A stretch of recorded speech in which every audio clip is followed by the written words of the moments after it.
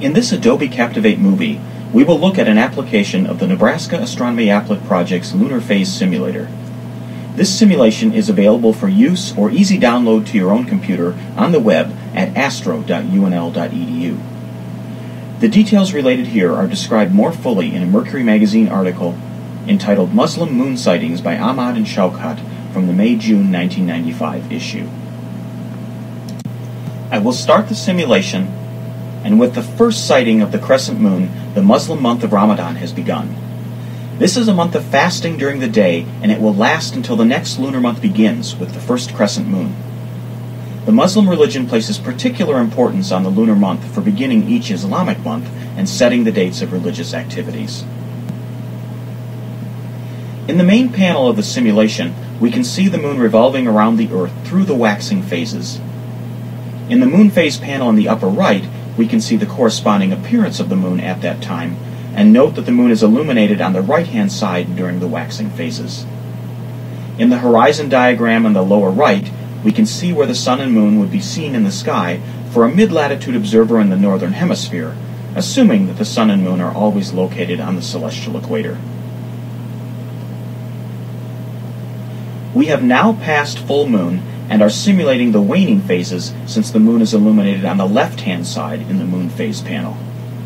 We can look at the angle between the sun and the moon and note that it is decreasing for the waning phases. This angle is exactly 90 degrees for the third quarter moon.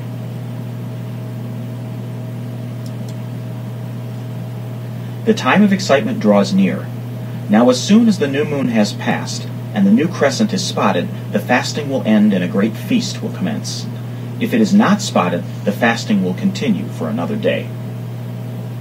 I will slow the animation rate to minimum at new moon.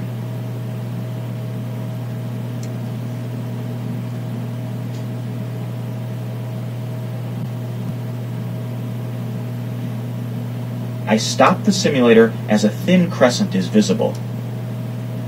But could this be seen in the sky?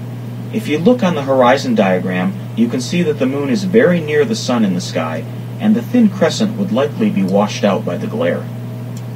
However, later as the sun sets, there is a brief period where the sun is below the horizon and the moon is still above the horizon. This scenario gives one the best chance of spotting the thin crescent, viewing immediately after sunset on the western horizon. The article cited earlier describes the excitement as Muslim children climb on houses and peer toward the western horizon, attempting to sight this thin crescent. Thus, the moon is not only important astronomically, but it has social and religious significance in many cultures as well. Muslim moon sightings are only one example of this importance.